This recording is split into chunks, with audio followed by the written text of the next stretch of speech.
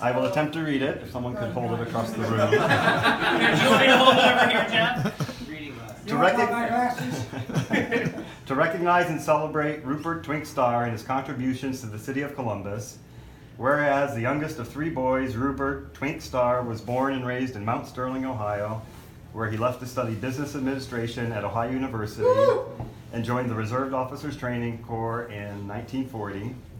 And whereas six months before his college graduation, Tink- Twink volunteered into active duty with the Army and was assigned to the 101st Infantry Division in 1945 in time to fight in the Battle of the Bulge. And another whereas. Whereas he would later be awarded a Bronze Star and a Combat Infantry Badge for his bravery after volunteering Yes, sir. After volunteering to sneak past Ger- Germany, German enemy lines and his refusal to surrender that led to his capture and serving as a prisoner of war as he spent four months in Nazi prison camps.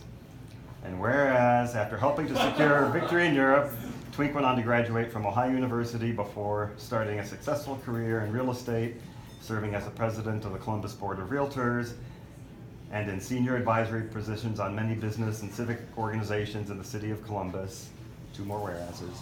Whereas Twink met his partner and love of his life, Alan Wingfield, in 1954 and would go on to become a mighty LGBT activist. Fifty-three years together. helping to repeal the military's don't ask, don't tell policy. And whereas honored as the Grand Marshal of the Stonewall Columbus Parade in 2009 for his activism and dedication to his country, Twink remains an inspiring force in the Columbus community and serves as a role model for many. Now therefore, be it resolved by the Council of the City of Columbus that this council does hereby recognize and celebrate Rupert Twink Starr and his contributions to the City of Columbus on this Sunday, July 16, 2017.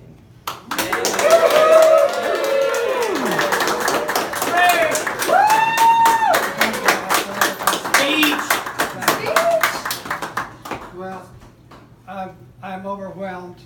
I'm, I, these are my friends. This is my life. These are the people. I go to church in the morning, first congregational, and I've been every, lit- every, I, I'm a, a big giver there. And I go to, got the best parlor in town in and I've given over a hundred thousand there. I've got the legacy there, and I'm no longer the legacy of YMCA or my church. I now just kept it for myself. What's that? No, Uh, no. Uh, again, uh, Stonewall, um, uh, HRC. What more could one have in the way of good friends? Uh, this, you are my life. You are my friends. And who needs money when you've got friends like you are? Yeah. But, but great thanks for the candy.